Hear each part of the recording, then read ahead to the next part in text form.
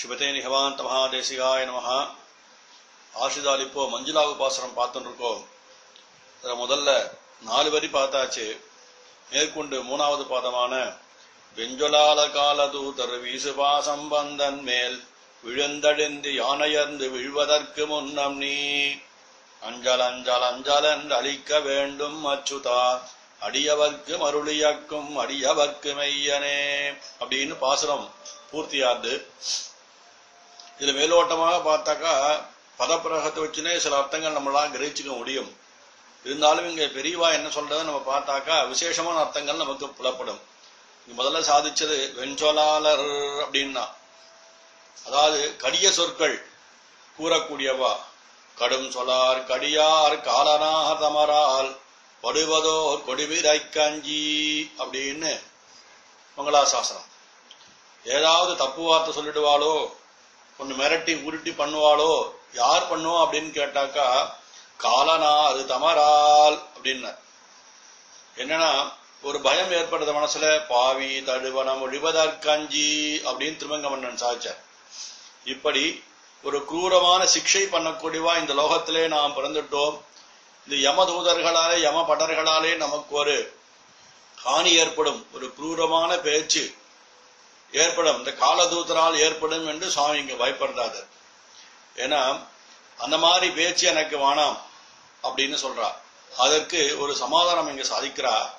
என்னன்னு கேட்டா எவனொருவன் ஸ்ரீவைஷ்ணவன் எவனொருவன் எம்பெருமானுடைய திருவடியை ஆசிரயிச்சானோ அவனுக்கு யமதூதர்களாலே ஒரு ஹானியும் ஏற்படாது அப்படின்னு சொல்றான் சோபுருஷ மபிவீக்ஷ பாசகஸ்தம் வததி யமகா கில தஸ்ய கர்ணமூலே.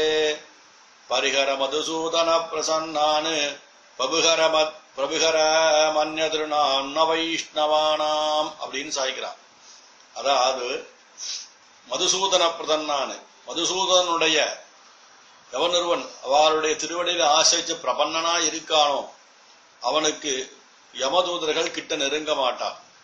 என்ன இது ஆழ்வார் ரொம்ப அற்புதமா சாதிக்கிறார் திறம்பேல் மின்கண்டீர் திருவடி தன்னாமம் மறந்தும் புறந்தொழாமாந்தர்.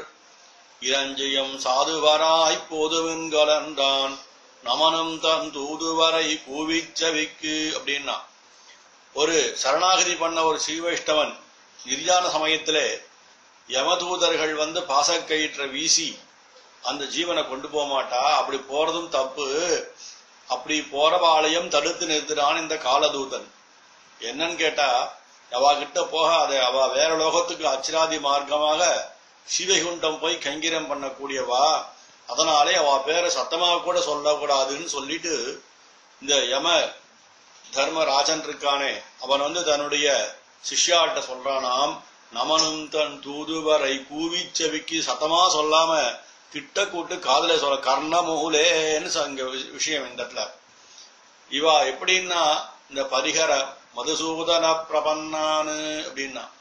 எம்பெருமான் திருவடி ஆச்சவா ஆச்சாரியமுக்கேன சரணாகதி பண்ணவாளுக்கு அர்ச்சனாதி மார்க்கத்தின் மூலமாக வைகுண்டம் பிராப்தி ஏற்படுறது.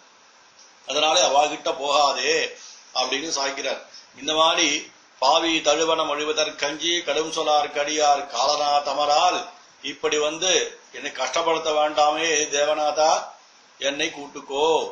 வெஞ்சொலாளர் கடியார் அப்படின்னார். வெஞ்சொலாளர் வீசு பாசம் வந்தன் மேல் அவா வீசுகின்ற பாச கயிறானது என் மேல் விடக்கூடாது என்ன இன்னும் என்ன இவருக்கு பயம்னா இவா தனித்தனியே வந்து புகுந்து இவரை கட்டி இழுத்து இம்சிச்சு. எப்படி சொல் எப்படி பெரியாழ்வார் சாதிச்சாரு? தன்னவன் தவறு சப்பமில்லாதார் சேவதக்குவா போல புகுந்து. பின்னும் வன்கையத்தால் பிணித்தற்றி பின் முன்னாக இழுப்பதன் முன்னம் இவா வந்து பாசக்கயிற்ற போட்டு கட்டி இழுத்து இப்படி ஒருத்தர் இழுத்து அப்படி ஒருத்தர் இழுத்து பண்ணாம தாங்கள் இஷ்டம் போல இந்த ஜீவனை சிரமப்படுத்த போறா. இந்த பலாத்காரமாக கட்டி இழுக்கிறது எனக்கு தேவையில்லை அடியேன். அந்த நமந்தவர் பாசம் விட்டால் அழைப்போனும் அவ்வல்லலல்லா மகள என்றபடி இங்கு சாதிக்கிறார் இவா என் மேல் வந்து இந்த பாச கயிற்றை வீசிக்கு முன் வீசுவதற்கு முன் கடும் சொலார் வெஞ்சொலாளர் வீசு பாசம் வந்தன் மேல். பிசு பாசம் வந்து என்மேல் விழுந்தழுந்தி யான் அயர்ந்து. நான் அதனாலே விழுந்து அழுந்தி அயர்ந்து ஒரு ஆயாசம் ஏற்படும். இதனாலே உன்னை பார்ப்பனோ பார்க்க மாட்டனோ என்ற எண்ணம் ஏற்படுறதுக்கு முன்னாடி தேவரீர் அடியனுக்கு அனுகிரகம் பண்ண வேண்டும். என்ன அஞ்சால் அஞ்சால் அஞ்சால் என்று அழிக்க வேண்டும் அச்சுதா. ஒரு தரம் அஞ்சல் சொன்னாலே இந்த தெய்வநாயகன் காப்பாத்திருவான் இந்த சுவாமி தேசிகனுடைய வார்த்தை பிரயோகமானது அஞ்சல் அஞ்சல் அஞ்சல் என்றுன்னு மூணு அஞ்சல் போடுறார். திருதாபின சம்சயகா ஒரு தடவை சொன்னா காப்பாத்தாட போயிடுவானோன்னு சம்சயம் இருந்த கொஞ்சம் இருந்தாலும் அதுக்கு திருப்பி ரெண்டு தடவை பிரதிஷ்ட பண்றார் அந்த இடத்துல. அஞ்சல் அஞ்சல் அஞ்சல் என்று அப்படின்னு புனப்புனகா நமஸ்காரம் புனப்புனகா பிரார்த்தனை இந்த ஜீவநாகன் திருவடி வாரத்திலே அப்படி ஒரு மூணு தரம் என்னவா போலே நல்லா ஒரு உன் திருவடியை தவிர வேறு திருவடி எனக்கு பிராபிய பிராபகம் இல்லே அப்படி என்று காட்டி அஞ்சால அஞ்சால அஞ்சால என்று அழிக்க வேண்டும் எனக்கு அனுகிரகிக்க வேண்டும். இந்த ஜீவனுக்கு தேவரீர் அனுகிரகம் பண்ண வேண்டும். யார் அனுகிரகம் பண்ண வேண்டும் கேட்ட அச்சுதா அப்படின்ட்டு அந்த முதல் திருநாமத்தை கொண்டு இங்க வைக்கிறார். அச்சுத அப்படின்னா அதுக்கு நாலு விஷயமான அர்த்தங்கள் பெரிவா சாதிக்கிறார். அழகானவன் ஒரு அர்த்தம் அச்சுத பதத்துக்கு. ஆசிரிதாலை தன் திருவடி நோக்கி இழுக்கக்கூடியவன் ஒரு பட்சம் ஆசிரிதால் தான் கேட்ட வரத்தை கொடுக்கக்கூடியவன் ஒரு பட்சம் ஆசிரிதாலை என்றும் நழுவ விடாதவன் ஒரு அர்த்தம். அதாவது இவன் திருவடியை ஆசிரியிச்சவாலை இவன் ஒருபோதும் நழுவ விட்டதில்லை. அந்த எந்த ஒரு சங்கையும் மனத்துல வேண்டாம். இவன் நம்மை காப்பானோ காக்க மாட்டானோ என்ற எண்ணம் கொஞ்சம் கூட வேண்டாம். அதனாலே அச்சுதான்னு போட்ட அஞ்சால் அஞ்சால் அஞ்சால் என்று அழிக்க வேண்டும் அச்சுதா. இப்படி இவன் திருவடி ஆசிர ஆசிரிச்சவாளுக்கு ஒரு நாளும் நழுவுதல் இல்லை. இந்த பிரானே உபகாரகனேன்னு சாய்க்கிறதுங்க எப்படின்னா உம்முடைய ஆஸ்திரருடைய பெயர் கூட இந்த யமதூதர்களுடைய கோஷ்டியிலே ஒரு சமயத்திலும் பிரசங்கிகமாகாது. ஏன்னா இவன் ஆசிரியரை காப்பாற்றுகிறவன். அதனாலே இந்த வைஷ்ணவனுடைய திருநாமம் கூட யமதூதர்களாலே கிட்ட நெருங்க முடியாதுன்னு சாய்க்கிறாருங்க. அதனாலே இங்க அஞ்சலஞ்சல் அஞ்சலன் அழிக்க வேண்டும் அச்சுதா. அடியவர்க்கும் அருளியாக்கும் அடியவர்க்கு மெய்யனே. இவன் திருவடி ஆசிரிச்சவாளை இவன் ஒரு எப்படியாயினும் காத்துடுவான்னு சாய்க்கிறான் அந்த இடத்துல. அதாவது இந்த நிர்யான காலத்திலே நமக்கு ஒரு ஒரு அஞ்ஞானம் வருதே பெருமாளை சேவிக்க முடியாத ஒரு சமயம். என்ன? தேக அவசானத்தின் போது எனக்கு மோட்சம் நம்ம பிரார்த்தனை பண்றோம் பரண்யாச டயத்துல. அப்ப அந்த சைட்ல பெருமாள் வருவானோ? அப்போதும் அங்கேதும் நான் உன்னை நினைக்க மாட்டேன். அப்படி சொல்லிட்டு அப்போதைக்கு இப்போதே சொல்லி வைத்தேன். அப்படின்னு நம்மளுடைய ஆழ்வாராதிகள் எல்லாம் சாதிச்சாடு இல்லையா? அப்ப நமக்கு என்ன பண்ண? பெருமானை செவிக்க முடியாது. அந்த சமயத்தையும் நம்முடைய அஞ்ஞானத்தை இவன் நிவர்த்தி செய்து அவனுடைய திருவடியை காட்டுறான். ராமோ துர்நாபிபாஷதே நமோ நமோ மோகம் வச்சோ பவேத்துன்னு சாய்க்கிறார் இல்லையா? அதே மாதிரி வராக பெருமான சாய்ச்சார். அகம் ஸ்மராமி மத்பக்தம் நயாமி பரமாங்கதிம்னு சாய்ச்சார் இல்லையா? இதனாலே பண்டியாய் பண்டியாம் தேசுடைய தேவர் திருவரங்க செல்வனாக பேசியிருப்பனகள். ஏற்கவும் பேராவேன்னு ஆண்டாள் சாதிச்சா. அதே மாதிரி சுவாமி தேசிகனும் அமுதா சுவாதினிலே ஒரு பாசனம் அழகா எடுத்தார். இரண்டுரையாத நம் ஏனமுரைத்த உரை இரண்டின். இரண்டு உரையா ரெண்டு விஷயம் கிடையாது. ராமோ துன்னாபி பாஷதேன்னு சாதிச்ச மாதிரி நான் உன்னை சத்தியமாக காப்பேன் என்று எம்பெருமான் சாதிச்சால் அவன் காப்பான். இரண்டுரையாத நம் ஏனமுரைத்த உரை இரண்டின். அந்த வராக பெருமான் சாதிச்சாரே அந்த விஷயத்தை அந்த துவயமந்திரம் அதை நமக்கு காட்டிக் கொடுத்தவர்கள் ஆழ்வாராச்சாரியர்கள் அதனாலே நாம் பயப்பட வேண்டிய அவசியமில்லை. அகம் ஸ்மராமி மத்பக்தம். என்னுடைய பக்தனை நான் ஸ்மரிக்கிறேன். நயாமி பரமங்கதிம்னு சொல்லி அந்த எம்பெருமானுடைய திருவாக்கே நம்ம கிட்ட இருக்கு. அதனாலே ஒரு பயம் இல்லைன்னு சொன்னான்.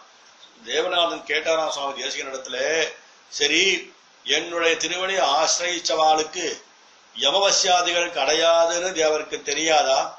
பின்ன ஏன் சுவாமி சம்சயப்படுறீர்?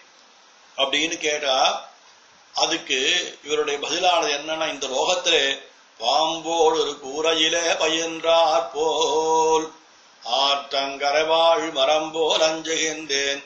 நாற்றச் சுவையூரொளி ஆகிய நம்பி அப்படின்னு சாய்க்கிறார்.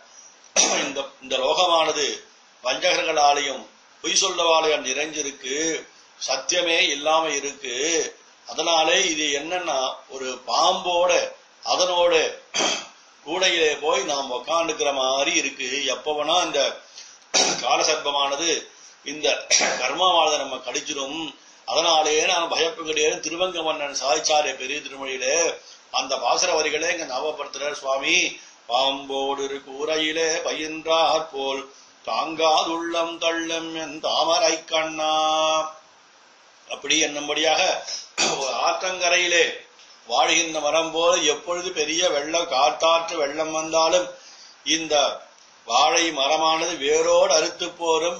பெரிய மரங்கள் எல்லாம் வேரோடு சாஞ்சுடும். ஆற்றங்கரை வாழ் மரம் போல் அஞ்சுகின்றேன். எப்பொழுது வெள்ளம் வந்து இந்த மரத்தை சாய்க்குமோ தெரியல அதே மாதிரி எப்பொழுது இந்த லோகமானது தன்னுடைய துர்புத்தியாலே என்னை வீழ்த்தி விடுமோ என்று யாம் பயப்படுகிறோம். அதனால தேவரீர் அடியேனை அஞ்சால் அஞ்சால் அஞ்சால் என்று அழிக்க வேண்டும் அச்சுதா. அடியவர்க்கு அருளியாக்கும் அடியவர்க்கு மெய்யனே. நான் தேவரீர் திருவடியை திடமாக நம்புகிறேன். தேவரீர்க்கு நான் எப்பொழுதும் தாசபூதன் என்ற எண்ணத்தோடே அடியேன் பிரார்த்தனை பண்ணுகிறேன். தேவரீர் அடியவர்க்கு மெய்யன் உன் திருவடி ஆசிரிச்சவாளுக்கு தேவரீர் என்றும் மெய்யன் சத்தியவாதியாகவும் இருக்கிறாய். அதனாலே என்னை அஞ்சால அஞ்சால் அஞ்சால் என்று அழிக்க வேண்டும். அப்படின்னு சாய்க்கிறாங்க சுவாமி தேசிகன் என்ன வரியிலே அஞ்சால் அஞ்சால் அஞ்சால் என்று அழிக்க வேண்டும் அச்சுதா. அடியவர்க்கும் அருளியக்கும் அடியவர்க்கு அருள் கொடுக்கக்கூடியவன் மருள் இயக்கம். அஞ்ஞானத்தை போக்கி அருளை கொடுத்து தன் திருவடியை காட்டக்கூடியவர் பெருமாளே. அதனாலே மஞ்சுளாவு சோழ சூழ் அழிக்க வேண்டும் மற்றுதா அடியவர்க்கும் அருளியக்கும் அடியவர்க்கு மெய்யனே அப்படின்ட்டு இந்த பாசனத்தை சரணாகதி ரூபமாக தலை கட்டி சுவாமி தேசிகன் அனுகரிக்கிறார். மீதி ரெண்டு பாசனங்கள் பாக்கி இருக்கு. பொருத்தம் பொருந்தலும் அந்தமின் சீர்பாசனம் அதை மேற்கொண்டு நாள நாளைக்கு நம்ம செவிக்கலாம் அடியன் கவிதார்க்கிக சிம்மாய. கல்யாண குணசாலினே ஸ்ரீமதே வெங்கடேசாய. வேதாந்த குரவே நமஹா.